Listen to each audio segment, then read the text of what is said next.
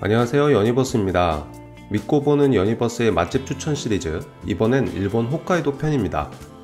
오늘 영상에서는 삿포로는 물론 BA, 오타루 맛집들까지 다루다 보니까 소개해드릴 맛집들이 정말 많더라고요.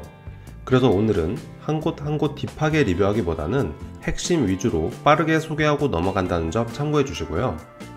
여행 코스, 추천 맛집, 추천 숙소 등 일본 여행과 관련한 다양한 정보들은 체크인 데이 네이버 카페에서 만나보실 수 있다는 점 이젠 다들 알고 계시죠? 그럼 지금부터 홋카이도 맛집 추천 영상 시작합니다. 보시기 전에 구독, 좋아요, 알림 설정까지 한 번씩 부탁드릴게요.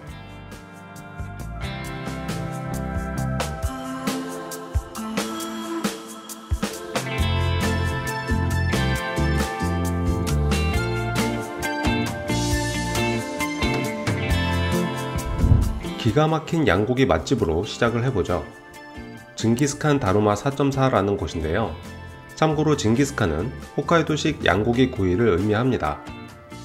일단 보시는 것처럼 공간이 꽤나 협소해서 옷에 냄새가 좀배수 있긴 하지만 뭐 그게 또 낭만 아니겠습니까?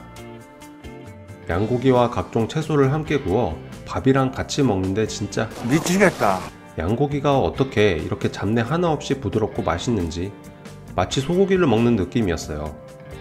양고기가 보통 호불호가 좀 갈리는 편인데 여기는 양고기 초심자분들도 거부감 없이 맛있게 드실 수 있으실 거예요.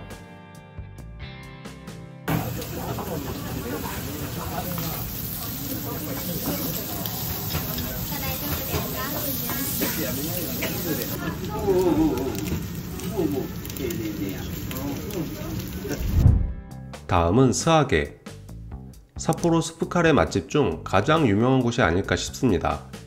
일단 스프 카레 자체가 우리가 평소에 먹던 카레와는 완전히 다른 비주얼과 맛인데 그래도 삿포로에 오셨다면 징기스칸과 더불어 꼭 드셔보셔야 하는 음식입니다. 말 그대로 스프에 가까운 국물인데 매콤하면서도 얼큰해서 한국인 입맛에 상당히 잘 맞는 편입니다.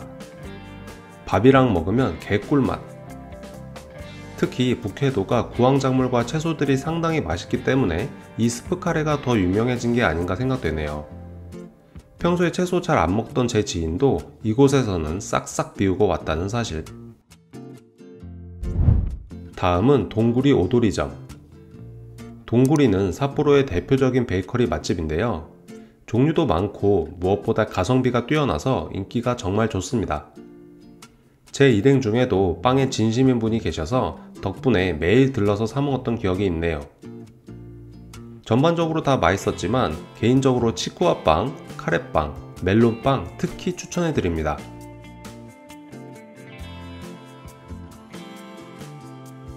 다음은 테시카가 라멘 요코초정 스스키노에 있는 라멘 골목 안에 위치한 곳으로 삿포로 외곽의 돼지 농장에서 공급받은 돼지뼈를 사용한 국물이 유명합니다.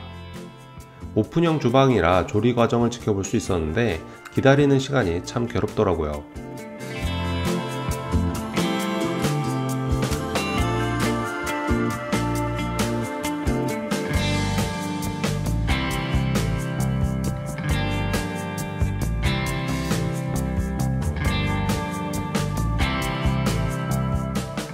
특히 이곳의 대표 메뉴인 콘버터 라멘은 버터의 풍미와 옥수수의 달달함이 추가된 독특한 라멘인데요. 라멘에 콘버터가 과연 어울릴까 싶겠지만 느끼함 없이 오히려 더 깊은 풍미를 느끼실 수 있습니다. 삼겹살 차슈도 큼지막하게 들어가 있고요. 매운 버전과 일반 버전이 있는데 저는 개인적으로 매운 버전을 더 추천해 드립니다. 콘버터와의 조합이 더 좋은 느낌이에요. 삿포로 여행을 오셨다면 이곳에서의 콤버터 라면은 꼭 한번 경험해 보셨으면 좋겠네요. 아 좋은데? 매운 게 더 맛있어? 매운 게 매운 게 하나도 안 맵네. 음, 맵진 않아요. 다음은 마지산도. 홋카이도가 유제품이 유명하다는 사실 많은 분들께서 알고 계실 텐데요. 지금 소개해드리는 마지 산도가 후르츠 산도와 아이스크림 맛이 괜찮습니다. 특히 후르츠 산도는 과일도 큼지막하게 들어있고 생크림도 폭신하면서 쫀쫀한 게 너무 맛있더라고요. 매장에서 드시는 분들을 위해 물과 커피를 무료로 제공해 준다는 점도 좋았네요. 다음은 라멘 신겐. 여기는 사실 웨이팅이 좀 살인적이긴 했지만 그럼에도 불구하고 너무 맛있게 먹었던 곳이라 소개해드려요. 기다리면서 먹고 있는 사람들을 지켜보니 진짜 하나같이 다들 너무 맛있게 먹고 있어서 기대감 증폭. 오랜 기다림 끝에 드디어 영접의 시간. 면발 탱글하니 살아있고 국물도 중독성 있게 계속 땡기는 맛이었습니다. 참깨랑 후추 찹찹 뿌려 먹으니 너무 맛있. 취향에 따라 콘버터를 추가해서 드셔도 됩니다. 너무 긴 웨이팅이 아니라면 저는 다음에도 또 방문할 것 같네요. 다음은 스프카레 가라쿠. 앞서 소개한 스아게에 절대 뒤지지 않는 스프카레 맛집입니다. 이를 증명하듯 매장 안은 많은 사람들로 꽉 차 있었는데요. 맵기 단계가 높아질수록 향신료 맛이 살짝 강해지긴 하지만 매콤하고 감칠맛 나는 스프카레로 정말 맛있게 먹은 곳입니다. 토핑들도 선택해서 추가하실 수 있는데 밥 위에 치즈 추가 추천해드리고 특히 브로콜리는 꼭 추가해서 드셔보세요. 평소에 브로콜리 별로 안 좋아하는데도 이건 정말 맛있었습니다. 맵기는 4단계 정도 추천드리지만 만약 매운 걸 잘 못 드신다면 2단계 정도도 괜찮습니다. 웨이팅이 어마어마한 곳이기 때문에 가급적 오픈런 하시는 것을 추천해 드릴게요. 다음은 키노토야 베이크 폴타운점 식후에 간단히 찾을 수 있는 디저트 맛집인데요. 구운 치즈 타르트와 애플파이, 소프트 아이스크림 등이 주력입니다. 저는 치즈 타르트와 아이스크림을 먹어봤는데 우선 치즈 타르트는 바삭한 타르트와 진한 치즈크림의 조화가 상당히 괜찮았고요. 아이스크림도 꾸덕하고 진한 우유 맛인데 양도 상당해서 만족도가 높았습니다. 달달한 디저트가 땡기신다면 이곳 키노토야 베이크 적극 추천해 드릴게요.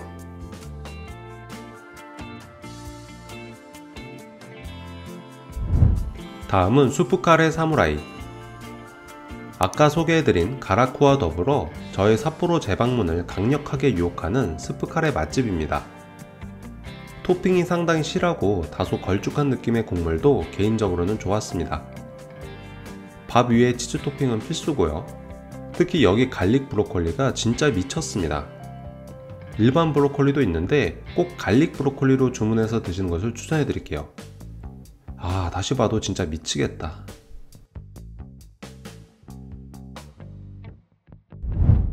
다음은 돈가스 와코 스텔라 플레이스 삿포로점. 삿포로에서 돈가스 맛집을 찾고 계신다면 저는 이곳을 추천해 드리고 싶습니다. 바삭한 튀김옷과 부드러운 고기 모두 만족스러웠고 밥의 고슬고슬한 정도, 그리고 쾌적한 내부 환경 등 전반적으로 만족도가 높았던 곳이었습니다.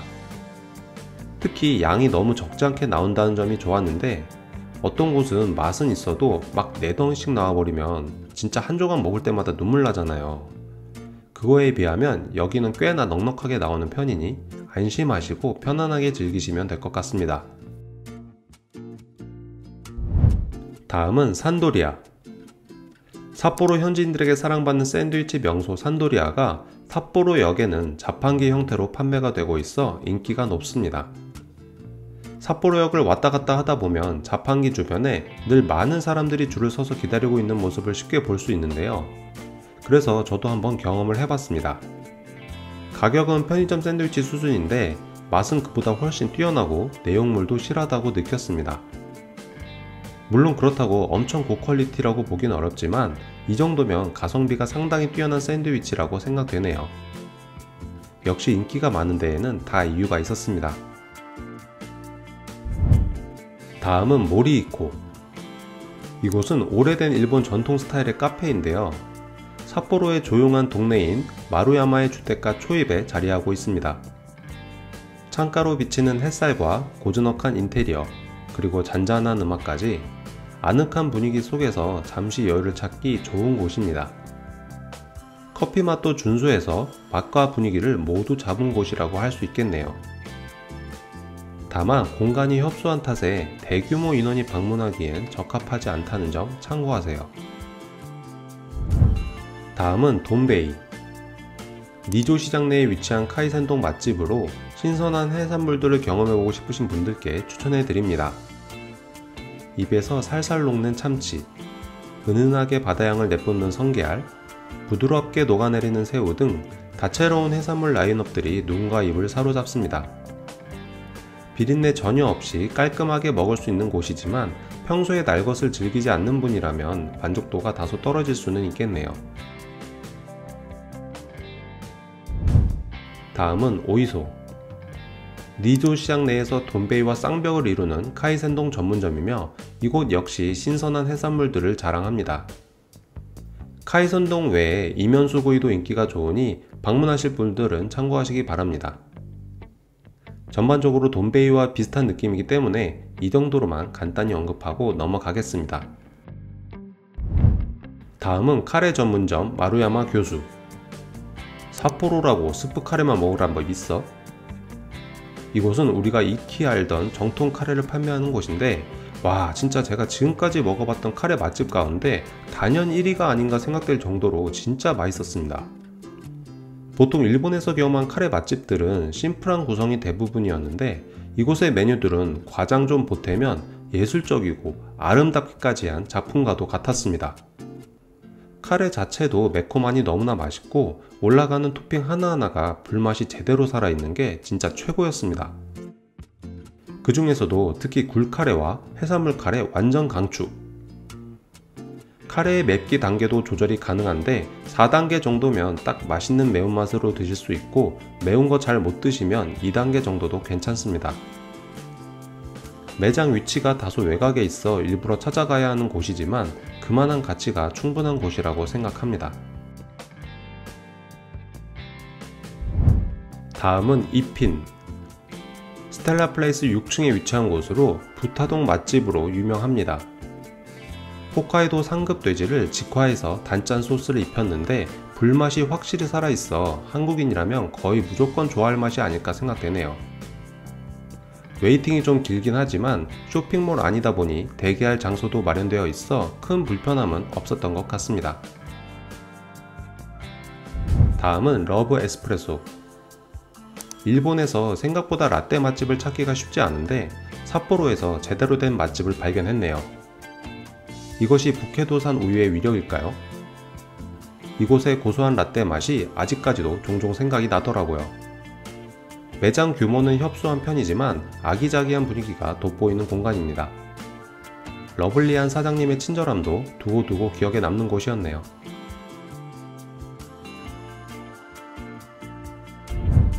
다음은 에비소바 이츠겐. 새우 베이스 스프로 유명한 라면집으로 어디서도 먹어보기 힘든 독특한 스타일을 자랑합니다. 새우향이 녹진하게 풍기는 게 먹다 보면 우리나라 새우탕 라면이 떠오르기도 하지만 그보다는 훨씬 깊고 감칠맛이 뛰어납니다. 새우를 가면 육수가 이렇게나 맛있다니. 라멘 신겐과 더불어 이곳도 꼭 방문해야 할 라멘 맛집이라고 생각되네요. 만약 동선이 안 맞아 방문을 못 하셨다면 신치토세 공항 3층에도 분점이 있으니 떠나시기 전에 꼭 드셔보시기 바랍니다. 다음은 노스망. 디저트 브랜드 센슈앙에서 개발한 파이로 삿포로 현지인들에게 매우 인기가 많습니다. 단팥 버전과 단팥 생크림 버전이 있는데 단팥 버전은 한국에서도 직구가 가능하기 때문에 현지에서는 단팥 생크림 버전으로 드셔보시는 것을 추천해드립니다. 부드러운 홋카이도산 우유 생크림과 촉촉한 식감이 인상적이었어요.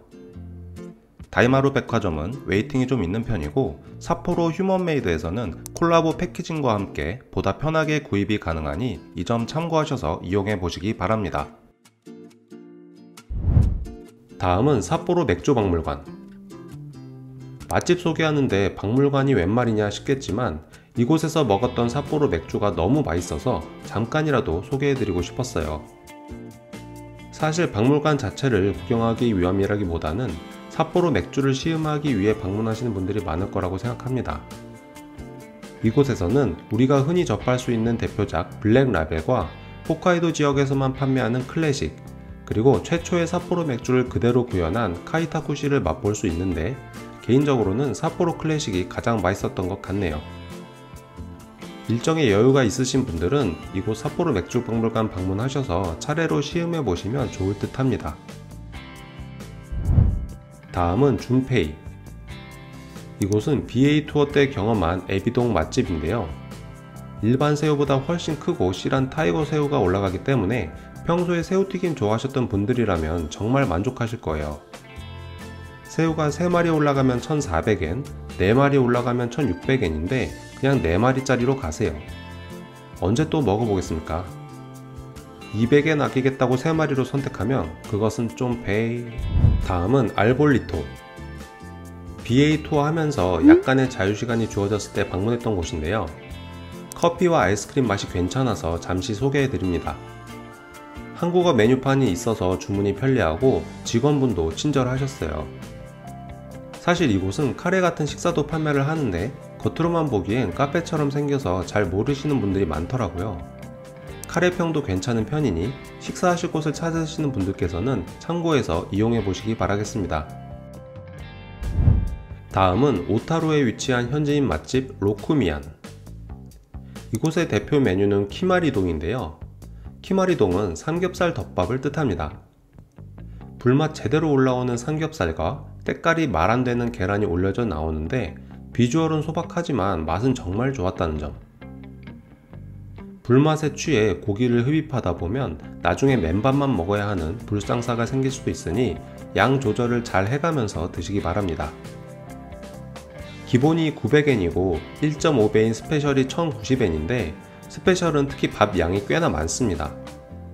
이것만 배불리 먹는다면야 special이 좋겠지만 오타루가 디저트 천국임을 감안하면 그냥 기본으로 드시고 다양한 디저트를 경험해 보시는 것도 좋은 방법입니다. 스페셜. 아, 스페셜. 혼돈이 오기 됐어. 오키 데스. 오키? 오키 데스. 너무 좋다는데? 많다요, 많다요. 그럼 뭐, 봉 그래도 타이좀 데스. 아이다죠. 이걸 나보고 찍으면 된다. 맛있겠지, 진짜 맛있겠다. 근데 뭐, 할머니들이 주시는 거라 밤 남기면 안 될 것 같아. 뭔가 한국인은 싫어할 수가 없는 거 같아요 음, 오, 맛있다. 고기가 와. 알아요? 와. 다음은 키타카로. 오타루 3대 디저트 가게 중 하나인 이곳에서는 아이스크림, 슈, 바움쿠엔, 개척 오카키, 각종 과자류 등 다양한 디저트를 판매합니다. 한정 수량으로 판매하는 슈가 유명하고 특히 아이스크림은 맛이 진하고 고소해서 홋카이도 유지방의 진수를 맛보실 수 있습니다. 콘 밑바닥 부분까지 아이스크림을 꽉꽉 채워주시는 것도 좋았네요. 키타카로는 삿포로의 본점과 다이마루 백화점에도 있으니 오타루 방문 일정이 없다면 삿포로 시내에서도 방문하실 수 있습니다. 다음은 로카테이. 이곳 역시 오타루 3대 디저트 가게에 속하는 곳인데요. 홋카이도에서만 구입할 수 있는 대표 디저트 브랜드입니다. 신치토세 공항에서도 구입할 수 있고 삿포로에도 지점은 꽤 많아서 구하기는 어렵지 않은데요. 다만 공항이나 기념품샵 같은 곳에서는 로카테이의 대표 상품 두세 가지 정도만 판매하기 때문에 로카테이의 다양한 제품들을 보고 싶으시다면 오타루점이나 정식 매장을 방문하시는 게 좋습니다. 이곳의 signature인 붉은색 포장의 버터샌드 제품은 부드러운 쿠키 사이에 건포도와 버터가 들어있어 달달하면서 크리미한 맛이 느껴집니다. 건포도에 호불호가 있다면 노란색 포장의 제품도 추천해드려요. 부드러운 카스테라 사이에 초코가 가미되어 있는데 아주 고급스러운 OS 맛이라고 생각하시면 됩니다. 개인적으로는 이게 더 제 취향이었던 것 같아요. 다음은 르타오. 오타루 3대 디저트 가게 중 마지막 곳입니다. 아마도 이곳이 가장 인기가 많지 않을까 싶은데요. 이를 방증하듯 오타루에는 본점과 더불어 분점인 파토스와 플러스가 함께 운영되고 있으며 초콜릿 제품만 취급하는 르타오 쇼콜라도 있습니다. 저는 본점이 대기가 너무 길어서 분점인 파토스로 방문을 했는데요. 이곳에서 먹은 치즈케이크가 지금까지 먹어본 치즈케이크 가운데 정말 손에 꼽을 정도로 맛있었어요. 공항에서 파는 르타오 냉동 치즈케이크와는 확연히 다르기 때문에 이곳에 오셨다면 치즈케이크는 꼭 드셔보시는 것을 추천해 드립니다. 다음은 사와와 오타루점. 오타루에서 너무 단 음식에 지치셨다면 조금은 쌉싸름한 맛의 말차는 어떠실까요? 이곳은 말차류 디저트들을 판매하는 곳인데 특히 말차 아이스크림이 꽤나 괜찮습니다. 생각보다 더 진하면서도 전혀 쓰지 않은 말차의 맛이라서 기대 이상으로 맛있게 먹었습니다. 평소에 말차를 좋아하셨다면 강추 드리고 싶은 곳이었네요. 다음은 카마에이. 오타루 어묵 공장으로 유명한 카마에이 공장 직영점입니다. 어묵 공장이 함께 운영되고 있기 때문에 갓 만들어진 어묵을 바로 먹을 수 있다는 점이 특징입니다. 이렇게 직접 제작되는 과정을 지켜볼 수도 있고요. 어묵 종류가 진짜 다양한데 개인적으로는 1위 어묵으로 유명한 히라텐과 콘버터 어묵이 가장 맛있었습니다. 매장 안에서 먹을 수 있는 공간도 마련되어 있기 때문에 편하게 휴식하면서 즐기기 좋은 곳이라 생각되네요.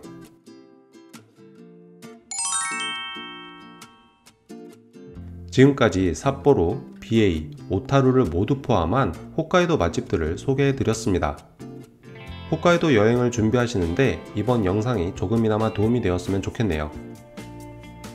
여행 코스, 추천 맛집, 추천 숙소 등 일본 여행과 관련한 다양한 정보들은 체크인데이 네이버 카페에서 만나보세요.